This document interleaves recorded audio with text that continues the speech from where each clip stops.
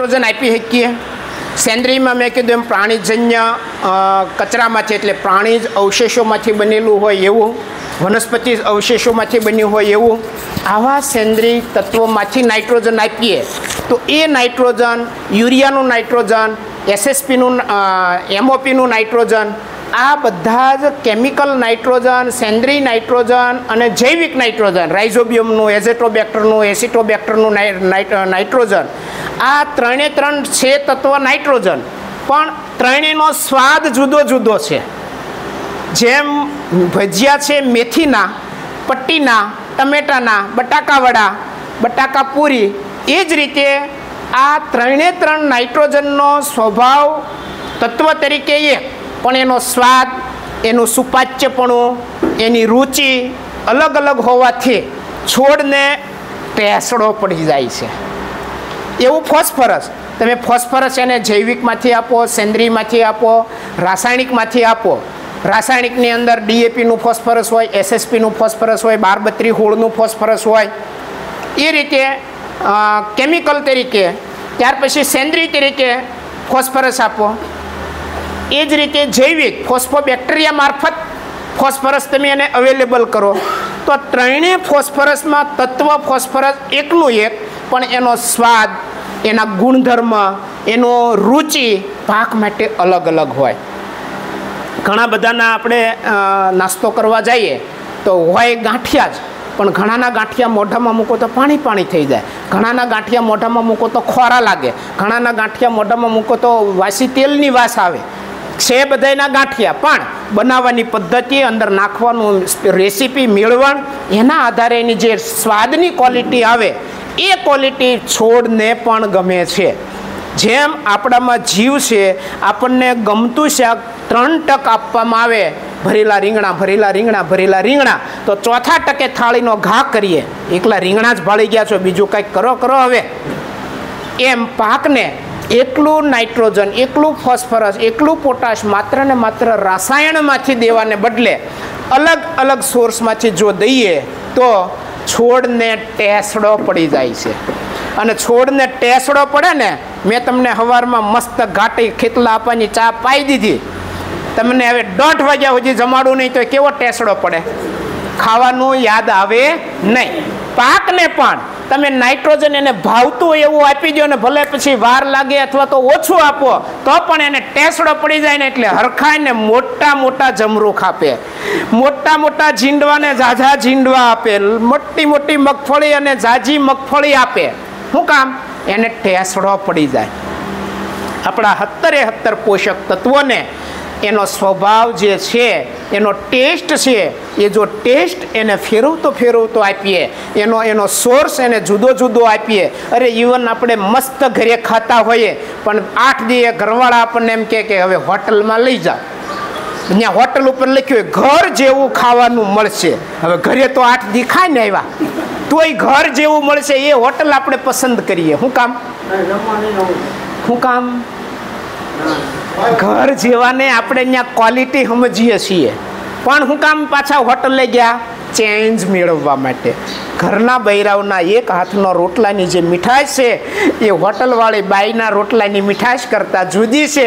એટલે આપણે એ હોટલમાં જઈને, એમાંય વળી પાછા.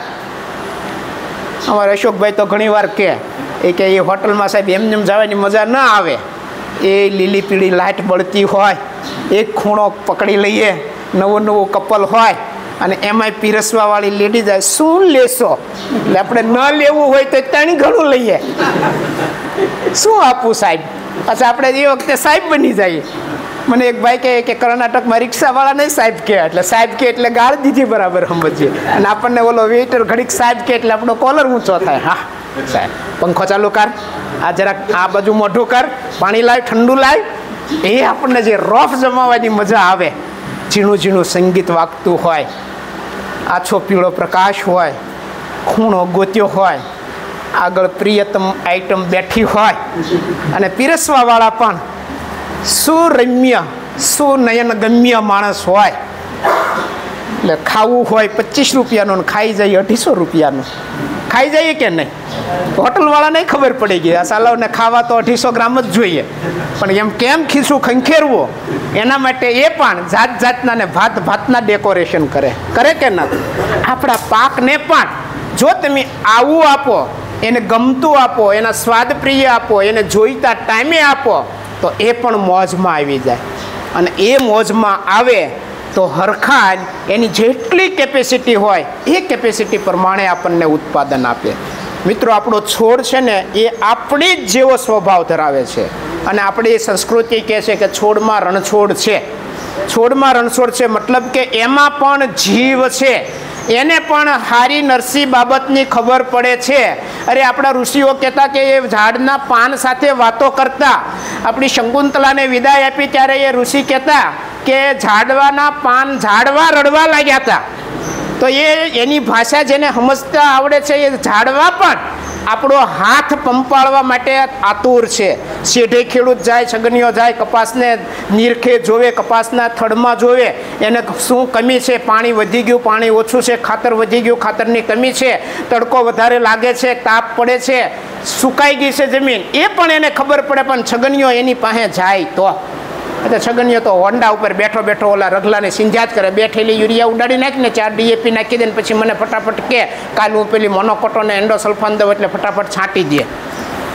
છોડને હું જોવે, ક્યારે જોવે, હું તકલીફ છે, કશું જ પૂછતા નથી. તો આપણે એના આગલા ચેપ્ટરમાં આ બાબત હોળે હત્તરે હત્તર પોષક તત્વો કયા કયા ખાતરમાંથી રાસાયણિક સ્વરૂપે મળે, કયા સેન્દ્રિય ખાતરમાંથી મળે, કયા જૈવિક ખાતરમાંથી મળે, એની વિગત આપણે વચ્ચેના મોડ્યુલમાં શીખી. ત્યાર પછી જે તે પાક માટે નાઇટ્રોજન તત્વ છે, એ વાનસ્પતિક વૃદ્ધિ, લીલો રંગ અને છોડના પાન વધારવા માટે છે.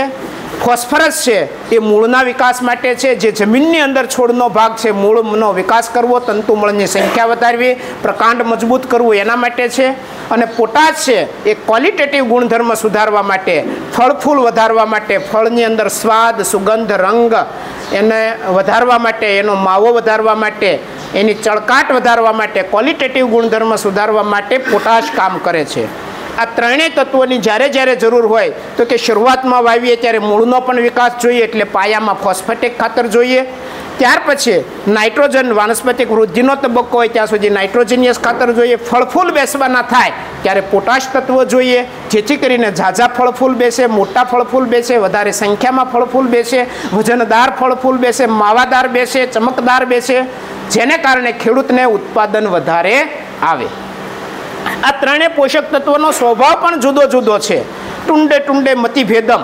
આપણા માણસમાં જેમ હોય એમાં ત્રણેય પોષક તત્વો પણ પોતાના સ્વભાવ પ્રમાણે કામ કરે. નાઇટ્રોજનિયસ તત્વ છે એ એકદમ ચપ્પળ નાંગણી જેવું છે. ક્યાંય એ થોભીને બેસતું નથી અને પ્રાણે બેહાડવું પડે. જેવું એ હવામાં આવે તો હવામાં ભળવા માંડે, પાણીમાં ઓગળવા માંડે અને તાપમાં બળવા માંડે. એટલે આ ત્રણેય બારી બંધ કર્યા પછી આપણે જો પાકની અંદર નાઇટ્રોજિનિયસ ખાતર આપીએ તો પાકને મળે, નહીતર આપ્યું હોય પાકને ને જાય તાપમાં. આપ્યું હોય પાકને અને જાય પાણીમાં. આપ્યું હોય પાકને ને જાય હવામાં. એટલા માટે આ નાઇટ્રોજિનિયસ તત્વને હંમેશા દેતી વખતે એવી પદ્ધતિ અપનાવવી જોઈએ કે તાપમાં બળે નહીં, પાણીમાં ઓગળે નહીં, હવામાં ભળે નહીં. એ ત્રણેય એની વેસ્ટેજની બારી બંધ કર્યા પછી જો આપણે આ નાઇટ્રોજિનિયસ ખાતર આપીએ તો એ ખાતર પાકને મળે. હવે તમારા વિસ્તારમાં યુરિયા ખાતર કેવી રીતે ખેડૂતો નાખે કપાસમાં? છાંટી દે. અને પછી મોટર ચાલુ કરવા જાય, શિયાળો, ઉનાળો હોય તો કે લે, હવે રાતનો વારો થઈ ગયો એટલે આખો દી તાપમાં તપે. પછી પાણી પાઈએ એટલે જેવો પાણીની હારી ભળે, પાણી જેટલું ખાળ ખાળ ખાળ ખાળ કરટલું ઊંડું ઉતરે, એટલું ઊંડું વયું જાય. પાણીની હારી ઓગળે અને પાણી જેટલું નાકાથી સીધા સુધી ઢહડાઈને જાય, એની હારી ઢસડાઈને વયું જાય. તમે જોયું છે જ્યાં પાણી ભરાતું હોય, ત્યાં કપાસ આમ એકદમ લીલો નાઘેર જેવો હોય? જોયું છે નીચે? શું કામ નાઘેર જેવો હોય? કારણ કે બધો જ નાકાનો, ઉપરવાટનો, બધો જ નાઇટ્રોજન ઢસડાઈને ક્યાં ઉગ્યો હોય? છેઠે તળીએ. એને કારણે એ નાઇટ્રોજિનિયસ તત્વ પાણીમાં ઓગળીને ઊંડું આઘું વયું જતું હોવાથી, હવામાં ભળી જતું હોવાથી અને તાપમાં બળી જતું હોવાથી હંમેશા નાઇટ્રોજિનિયસ ખાતર, ખાસ કરીને યુરિયા જેવું ખાતર પિયત આપી દીધા પછી શિયાળા ઉનાળામાં અને ચોમાસું હોય તો વરસાદ થઈ ગયા પછી વરાપ થાય ત્યારે ઉનાળો હોય તો સાંજના પાંચ વાગ્યા પછી અને શિયાળો હોય તો સાંજના ચાર વાગ્યા પછી. તમે જો એ પાકને આપો તો ભેજ હોવાને કારણે હવામાં ભળી જવાની સંભાવના જીરો સૂર્યપ્રકાશ તમે નાખી રહ્યો અને સૂર્ય સૂર્યાસ્ત થઈ જવાનો હોવાથી સૂર્યપ્રકાશની ગેરહાજરીમાં તાપમાં બળી જવાનો ભય જૂથ દૂર.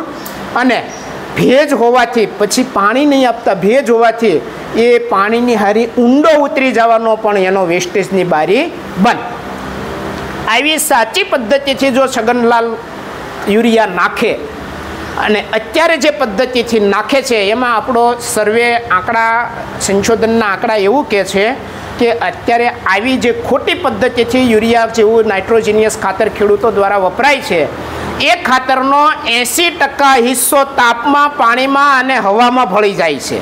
માત્ર વીસ ટકા હિસ્સો જ પાકના મૂળને મળે છે. મતલબ કે છગનલાલ દસ થેલી યુરિયા નાખે ખોટી રીતે તેમાંથી બે થેલીનો જ નાઇટ્રોજન છોડને મળે છે. આઠ થેલીનું નાઇટ્રોજન હવામાં પાણીમાં અને તાપમાં વેસ્ટેજ જાય છે. હવે સાચી પદ્ધતિથી છગનલાલ જ્યાં દસ થેલી ખોટી પદ્ધતિથી નાખે ત્યાં સાચી પદ્ધતિથી બે થેલી નાખે તો એ કામ હરખું થાય કે ઓછું વધતું થાય? હરખું થાય. આઠ થેલીના પૈસા કેટલા થાય યુરિયાના? એક યુરિયાની થેલીના કેટલા છે? બસો સાસઠ ને પચાસ પૈસા. હા બસો ને સિત્તેર લઈ લઈએ એ તો પણ લગભગ લગભગ આઠ થેલીના એને પચીસ અઠ્ઠા બે હજાર રૂપિયાની બચત થાય. થાય કે ન થાય? અને વધારાનું, એ જે નાખે છે એ માત્ર નાઇટ્રોજન નથી નાખતા. એની હારી છેતાલીસ ટકા જ નાઇટ્રોજન છે, ચોપન ટકા ફિલર મટીરિયલ છે. એમાં એસિડ છે, ચોક છે, ચીરોડી છે. આ જે ફિલર મટીરિયલ છે, એ જે જમીનમાં જમા થયા પછી બે જમીનના કણ વચ્ચેની જગ્યાને સિમેન્ટિંગ કરવાનું કામ, એમની પોરોસિટી ઘટાડવાનું કામ, પીએચને છૂટો મૂકવાનું કામ ઇસી ઇમ્બેલેન્સ કરવાનું કામ જે કરે છે, એ પણ આડઅસરરૂપ ખેડૂતને થાય છે. આ બધા જ જે ગેરફાયદા છે, એ માત્ર ખેડૂત જો યુરિયા નાખવાની પદ્ધતિ સાચી અપનાવે, તો એને એનો બેનિફિટ મળે. એ રીતે ફોસ્ફેટિક ખાતર છે, એ સાલું આ યુરિયા કરતા નાઇટ્રોજન કરતાં સાવ ઊંધું છે. યુરિયાનું નાઇટ્રોજન ચપળ